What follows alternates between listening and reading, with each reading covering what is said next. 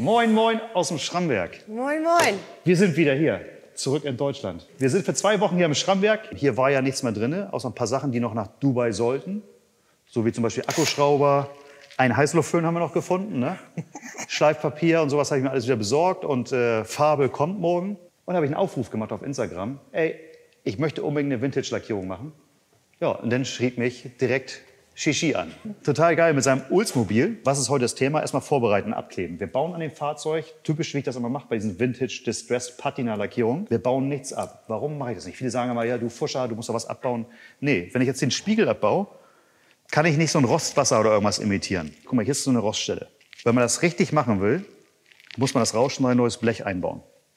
Das heißt, Ja, dieses Fahrzeug in Neuzustand zu versetzen, muss einem erstmal jemandem gefallen. Und dann steckst du so viel Zeit und Kohle rein, dann bist du in fünf Jahren mit dem Ding nicht fertig. Oder du steckst so viel Kohle rein, lässt das machen, äh, das ist unbezahlbar. Du sagst, nee. Und was halt geil, was viele mögen, wir auch, ist halt diese Patina-Lackierung. Jetzt heben wir die ein bisschen hervor. Hier ist so ein bisschen was mit der komischen Farbe mal lackiert worden. Das machen wir weg. Ähm, die Roststellen werden jetzt so ein bisschen, ich sag mal, prophylaktisch gemacht. Das gleiche hatten wir bei dem orangenen Pickup, den ich noch in Dubai lackiert habe. Da waren auch Roststellen. Die habe ich ein bisschen ausgeschliffen, nochmal grundiert und habe das quasi betont, dass da diese Roststelle ist, also mit Lack. Ähm, und dann hält das wieder ein paar Jahre. Und irgendwann muss man dann sowieso beigehen und das restaurieren. Aber warum kann man nicht jetzt schon diese Patina-Optik machen? Damit man jetzt damit Spaß hat. Und genau das machen wir jetzt.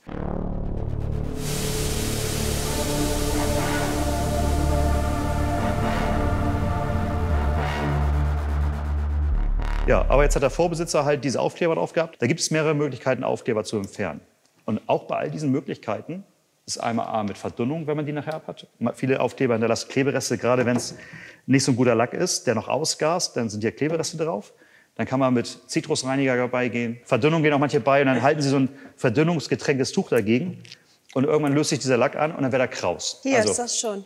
Guck mal, ich bin hier mit unserem, mit unserem Schaber, den haben wir auch oftmals verwendet.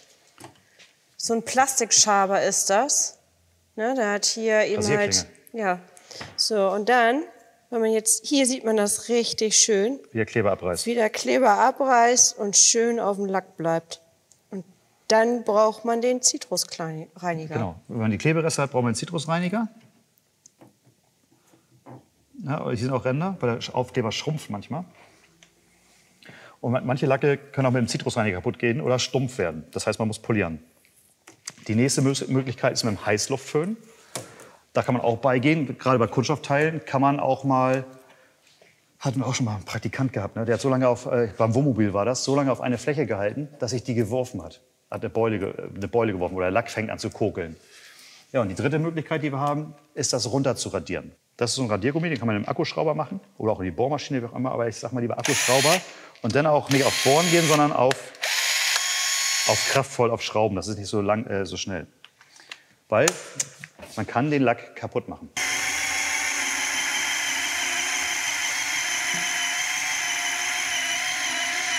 So, jetzt radiere ich runter. Jetzt bleibe ich mal länger auf einer Stelle, dann wird das so heiß. Oder ich mache auch mal ein bisschen mehr Geschwindigkeit. Nee.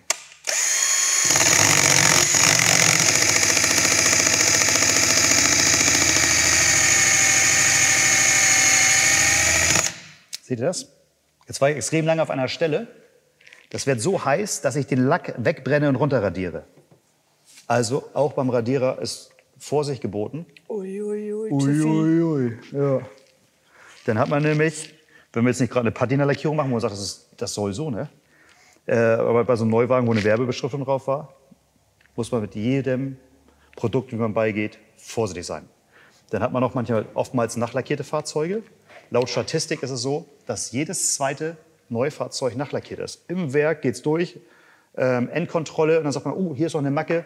Dann geht er nochmal durch, wird angespritzt, anlackiert. Und dann ist es oftmals an den Stellen nicht richtig gut angeschliffen. Da macht man eine Werbebeschriftung rüber, reißt die nach ein, zwei Jahren ab und hat auf einmal den Lack mit auf der. Folie. Ja, in dem Sinne, ähm, ich habe noch mehrere Projekte hier. Ihr beiden, Ja. hol jetzt erstmal die Aufkleber Hast du das Föhn gezeigt? Ja, Nee, ne? Nee, Föhn habe ich nicht gezeigt. Ja, Siehste. doch. Da bin ich gespannt, ob der hier runtergeht. Weil hier ist der Lack ja schon ganz stumpf, da ist dieser neue Aufkleber aufgekommen. Und hier blättert nämlich schon der Klarlack so ein bisschen. Machen wir den erstmal ein bisschen warm. Genau. Hier muss man eben, kann man auch einstellen. Ich würde immer weniger Temperatur nehmen. Ja, ne? Also von 1 bis, geht das hoch bis 9? Was ist das heißeste? 9. 9, ja, ich mach mal, ich mach mal so 4, 5. Vielleicht ein bisschen mehr Drehzahl, mehr pusten.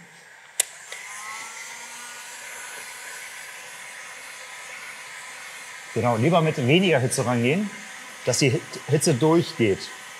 Geht man nämlich auf volle Hitze, ist wie bei, wie bei der Pizza im Backofen, dann wird sie außen verbrannt und innen drin ist noch gar nichts. Und wenn man die ganze Zeit mit, der, mit dieser Hitze drauf geht, Ja, aber auch hier ist schön der Kleber am Ja. Lack. ja, weil Kleber ist, Ja. Kleber, der Klebstoff ist lösemittelhaltig bei Aufklebern. Ist lösemittelhaltig, dadurch hat man immer diese Adhäsion, weil immer wieder diese Klebstoffe freigeben, immer diesen, diesen Ich will noch mal ein bisschen mehr Weichmacher. Hitze. Genau, dadurch hast du das. Und wenn man jetzt das Ding ruckartig abreißt, probier mal. Vielleicht reißt du sogar Klarlack noch hoch. Nee. Aber da ist jetzt ruckartig gerissen. Siehst du, wo jetzt nicht heiß geföhnt ist, da hat man diesen Kleberabriss. Aber der hat voller Käse. Ja. Ja, der hat voll.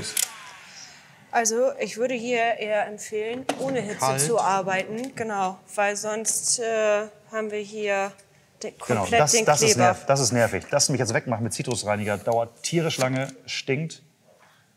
Ja, also man muss immer gucken, womit holt man es am besten runter. ist nichts drauf Und mehr. für die Verdünnung schmiert in den meisten Fällen. Ne? Genau, schmiert. Oder wenn du halt eine, auf eine, die ist ja schon die Lackoberfläche verbrannt. Ähm, da hast du da die Problematik, die Lösemittel ziehen ein und kann sein, dass es auf einmal anlöst und den Lack rausmacht.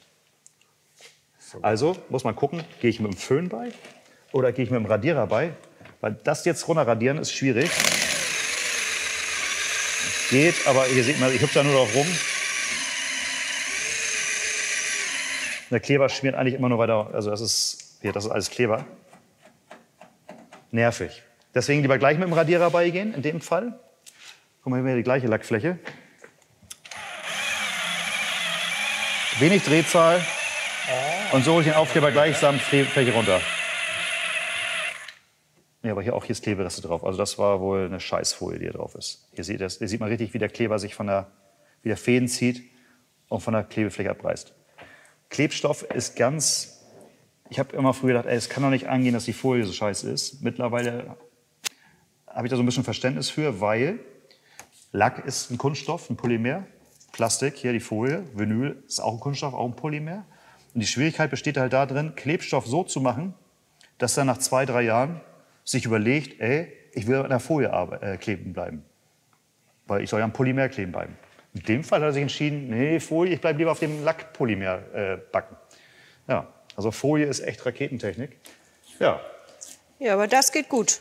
ja siehst du, aber du siehst, du siehst auch hier, na, hier ist ganz stumpf matt. Ah, I am, I am, Guck mal, hier ist anders. Die Tür hat auch eine andere Farbe. Siehst du?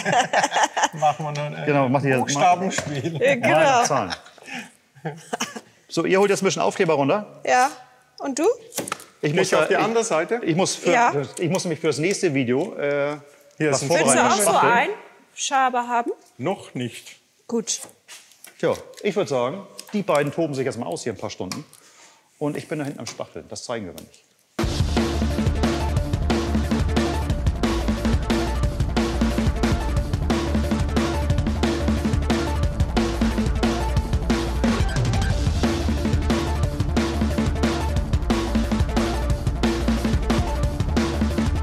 Jetzt haben wir hier schon mal die Aufkleber runter. Die Seite sieht schon ganz gut aus, ne?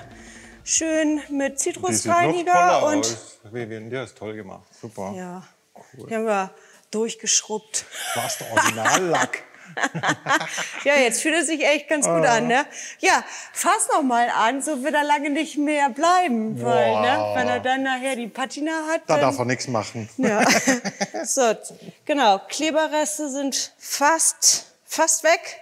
Und was machst du jetzt? Äh, Ich würde gerne die Rostschellen ein bisschen freilegen, dass wir den noch grundieren können und Ja. mit ein integrieren, wenn er die Patina oder wenn er halt lackiert, ne? dass Ja. es ein bisschen stimmig wird.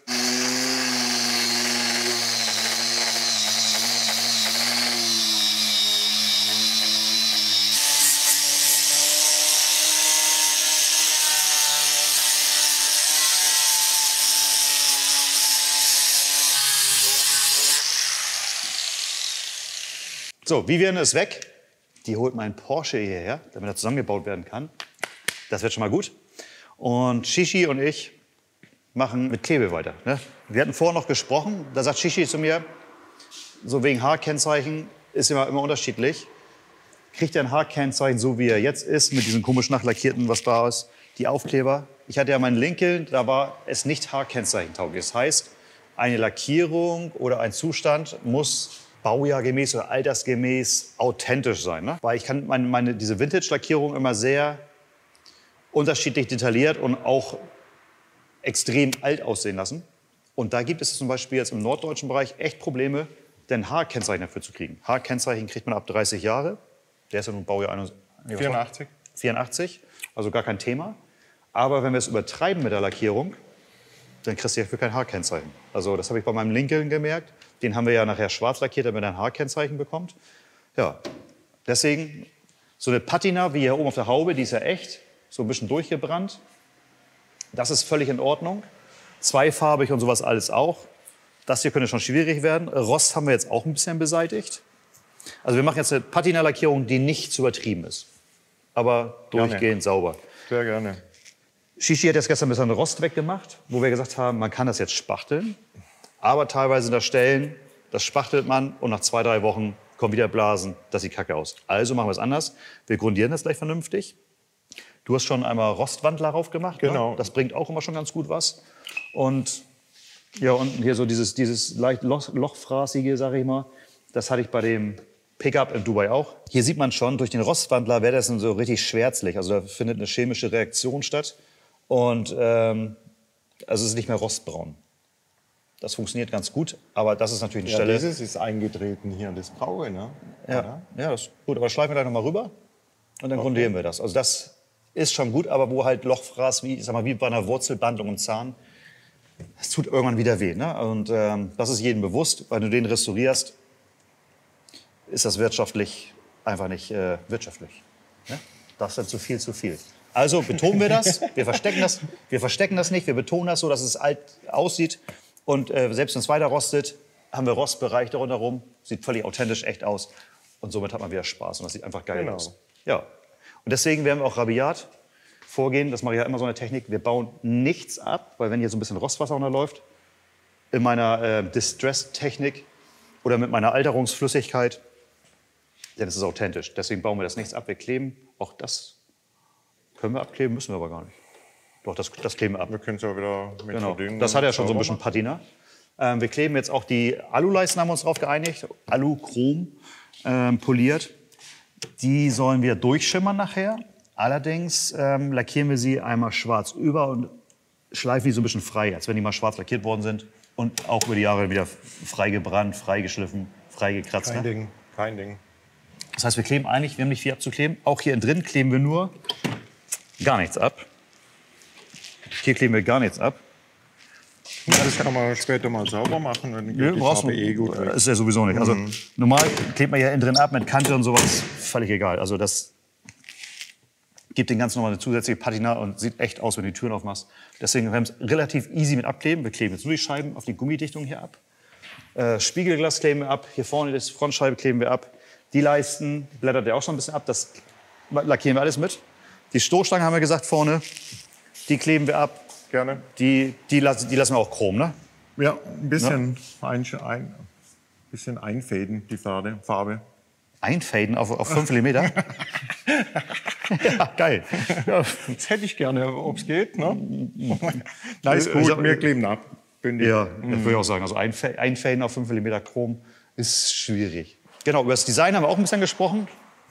Also hier kleben wir alles zu, dass wir dieses, dieses was kann man dazu sagen, Rosé Champagner stehen lassen als Konturlinie. Und oben wollte ich ihn dunkel machen, schwarz, dass wir hier ein bisschen durchschleifen, dass die Farbe durchschimmert. Und untenrum ähm, vielleicht eine, ja, so, so eine Art Silberton, dass wir ihn untenrum so ein bisschen silber machen und auch wieder durchpatinieren. Aber vorher wollten wir weiß vorweg machen, so weiß-creme, dass es aussieht, ne, so wie deine Hose, dass äh, wir quasi so Grundierung durchschleifen. Ja, Ne? so wie der Sticker hinten an der Scheibe, so ungefähr. Genau, so machen wir das.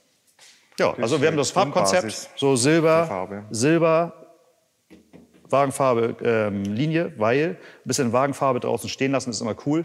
Wenn man die Türen aufmacht, taucht die Farbe draußen wieder auf, dann sieht es nicht so komisch aus. Ne?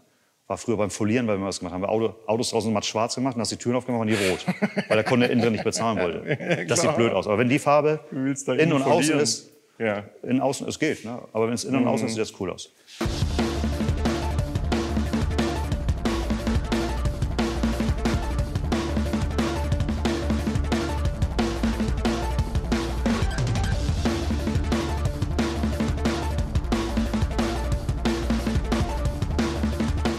Ja, so ist das hier, ne? Muss man fit halten, die Wir, Lackierer. genau, wir haben gesagt, na, wir können im Preis ein bisschen was machen. genau. Aber halbstündig muss ich hier einmal rückmassiert werden. Guck mal hier. Hier sieht man richtig eine richtig eckig geschliffene Kante. In diesem- diesen Pearlton sieht man natürlich richtig scharfkantig. Hier ist sie rund. Und da sieht man, hier ist sie noch ein bisschen rund. Da ist sie total eckig. Hier ist sie wieder ein bisschen rund. Also richtig kaputt geschliffen. Mit dem Exzenter schön gegen, ne? nicht mit der Hand. Ja. Aber wir haben ja in unserem Dreiergespann samt Kamerateam äh, richtig Hunger und haben uns übermütig, wie wir sind, Dosenfutter geholt. Aber da das Schrammwerk ja komplett leer ist, haben wir weder Dosenöffner, Töpfe, eine, eine Mikrowelle konnten wir aus der Ecke irgendwie hinten buddeln. Ja, und ich würde sagen, das ist schon eine ganz schön lange Folge. Alles ums Thema Abkleben, Aufbacken, ne? Ist das Surviving Kick nicht sehr Das ist Survival, ne? Ein Glück bist du da. Dieser geiler Flasche. Äh, Aber die ganz äh, leb lebensgefährlich hat der Kameramann das hier geöffnet. Mit einer Zange und Schraubendreher und weiß nicht. Wir haben noch auf, auf Instagram nach ein paar Live-Hacks geguckt. Aber da hätte man ein Messer reinstechen müssen. Das sah auch ziemlich gefährlich aus. Aber das ist auch wild. nicht Aber mal das ist im Haus. Aber, das, aber ich würde sagen, die, die, die machen wir mit Popnieten, eine Zange rauf hier. Und lackieren wir mit ein.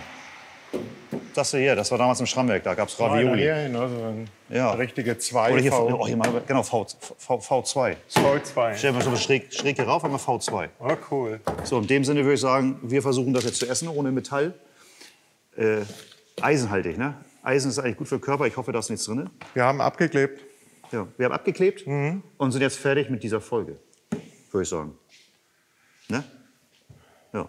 Folge 2 Nachmittag. ja. In der nächsten Folge erwartet euch denn diese Vintage-Lackierung. Also wir schleifen den jetzt teilweise ganz leicht an, teilweise auch nicht, unbehandelt, was ein Lackierer niemals machen würde. Ich mache es aber, um halt diese Hochreißeffekte zu haben. Ja, und da kommt eine geile Patina-Lackierung drauf, ne? Also wie ihr es von mir kennt. Ähm, wir haben schon wieder eine coole Idee. Ich bringe ja immer wieder irgendwas Neues raus, probiere eine neue Technik aus, um genau dieses Patina-artige hinzubekommen. Aber das seht ihr erst in der nächsten Folge. In dem Sinne würde ich sagen, ne, Shishi, Bitte? sag mal Bei der Tschüss. Arbeit. Tschüss, ne? Tschüss.